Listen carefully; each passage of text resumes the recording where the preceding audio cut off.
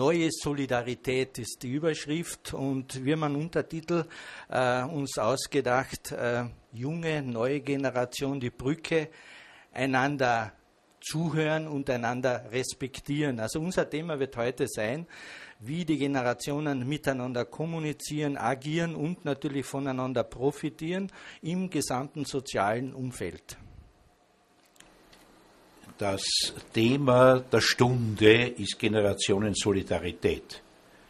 Und betone das deshalb, weil es ein paar Bescheuerte gibt, die einen Generationenstreit herbeireden oder herbeischreiben wollen.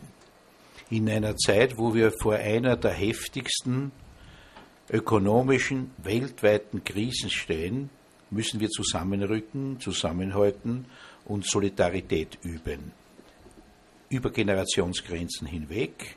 Die Jungen sind für die Alten da, die zahlen die Beiträge ihrer Pensionen. Die Alten haben für die Jungen da zu sein in jeder äh, der vielen Rollen, die ihnen hier zugeteilt werden. Nicht nur in der materiellen Unterstützung, in der Entlastung der Haushalte der Jungen, deren Kinder man betreut, sondern auch in einem verstärkten Maß durch eine freiwillige Arbeit in unseren gesellschaftlichen Organisationen. Wie der Präsident Blecher das jetzt dargestellt hat, Reinhard Rohr, ich selber komme aus dem ländlichen Bereich. Ist das jetzt eine aufgesetzte Partie? Wäre das nicht selbstverständlich, dass das alles so ist, das Verhältnis junger und alter Generation? Na, ich denke aber, äh, wie es äh, der Charlie Blecher auch schon gesagt hat, natürlich ist es so, in wirtschaftlich schwierigen Zeiten sind die Sorgen der Jungen auch die Sorgen der Alten.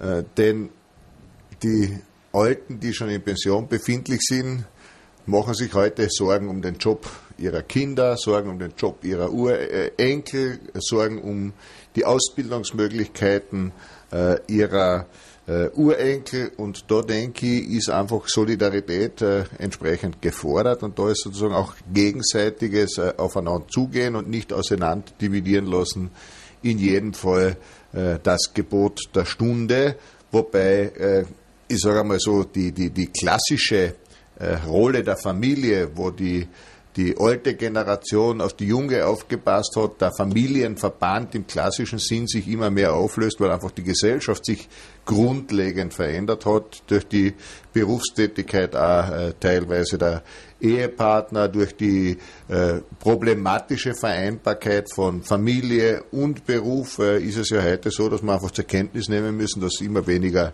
äh, Kinder äh, auch äh, zur Welt kommen und äh, daher ist es vielleicht ganz wichtig, darüber nachzudenken, welche neuen Modelle können wir entwickeln, wo man äh, äh, jung und alt miteinander in, in ganz neuen äh, Formen auch im Zusammenleben fördern kann, die den heutigen Anforderungen der Gesellschaft entsprechen.